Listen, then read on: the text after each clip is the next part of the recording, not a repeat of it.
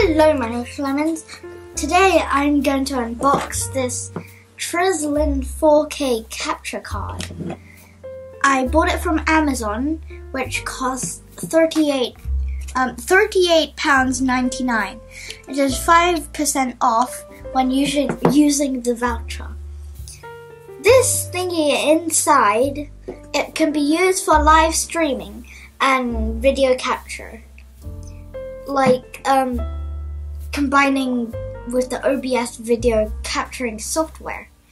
I will use it for capturing a Nintendo Switch game, but it will it can also be used with Xbox, Wii, PS4, PS5, and even digital cameras. And also Xbox, you could actually give an Xbox for someone next um next December, I mean Christmas. So I am going to open it up and see what is inside. so let me just, sorry, there. So there's these wires. It comes with a USB 3.0 cable there. And then a user manual. Then we have the um, whole thingy, the the um, 4K USB 3.0 video capture card. So the chassis, I think it's called, is the chassis is made of aluminum, very well made and solid. So I think the steel, these um, the silver part is chassis, I think. So it says HD video capture. Then there's just these logos and stuff.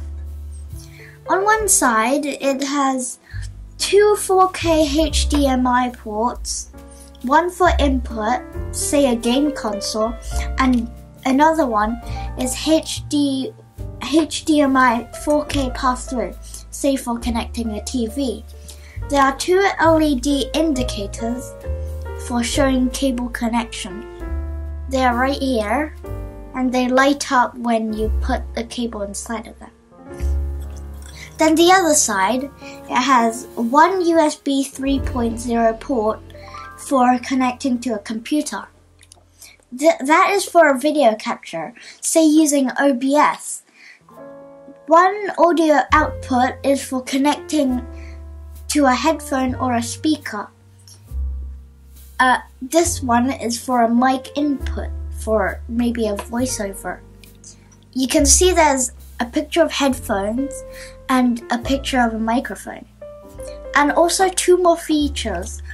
It does not need to install a driver and it can also live um, it can also live stream up to 1080p at 60 hertz. So we might be able to play a game, and when we plug this everything in, well, not this one, this cannot be plugged. After we plugged everything in, we can play a game. I'm coming back, okay? Okay, see you like um later. Please like and subscribe.